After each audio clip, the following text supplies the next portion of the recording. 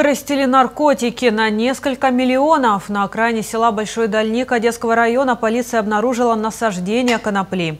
На двух земельных участках было около 150 кустов наркосодержащих растений с автоматическим поливом. Их общая стоимость превышает 3,5 миллиона гривен. Причастных к организации незаконной плантации разыскивает полиция.